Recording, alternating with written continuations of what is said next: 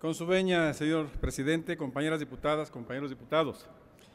Esperando que todos hayamos estudiado las iniciativas de decretos enviados a esta soberanía por el titular del Ejecutivo Federal, manifiesto haber reservado este artículo segundo con la convicción de que la propuesta de aplicar el régimen del 16% generalizado del impuesto al valor agregado en la región fronteriza no tiene una justificación aceptable, ni técnica, ni económica ni política, y muestra, eso sí, un profundo desconocimiento de la vida en las fronteras.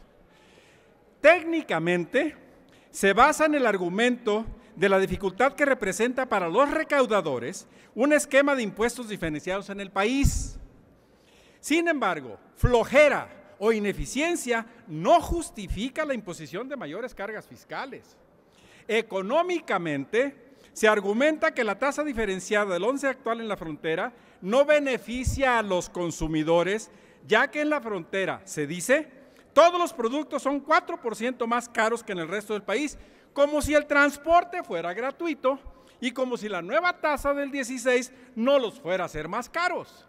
Políticamente, se argumenta que si los fronterizos mexicanos no pagan el 16%, entonces las demás entidades federativas tendrán que pagar por ello. ¿Y qué ha hecho el resto del país para retener a sus emigrantes a la frontera, donde más del 70% del crecimiento de la población de los últimos 50 años han llegado allá provenientes de las otras entidades federativas? Y a propósito, Todas y todos han sido bienvenidos y bienvenidas. Conste, yo no vivo en la frontera, no soy fronterizo, pero he estudiado la frontera. Y ese es el punto por el cual estoy yo aquí. Lo más claro en la propuesta es un profundo desconocimiento de lo que es la vida en la frontera. Se habla de que allá los ingresos promedios son más elevados, y tienen razón, pero también las desigualdades son más lacerantes allá. Se dice que antes estaban aislados, pero ya no. Entonces, la idea es volverlos a aislar o de qué se trata. Faltaba más.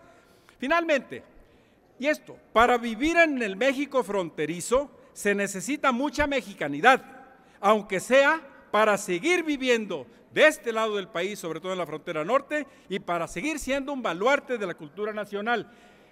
Reflexionemos una cosa que quiero decir aquí, y era fundamentalmente el mensaje.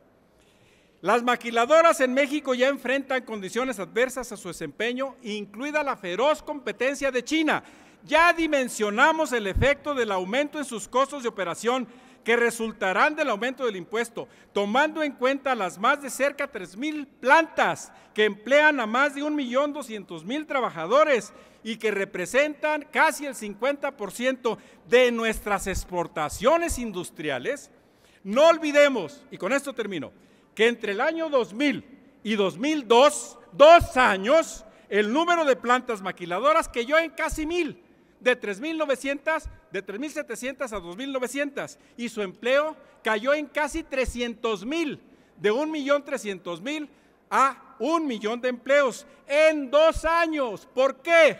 En gran medida por el impuesto del 2% al activo fijo que de manera insensata y seguramente por desconocer lo que es la vaquiladora, impuso el entonces secretario de Hacienda.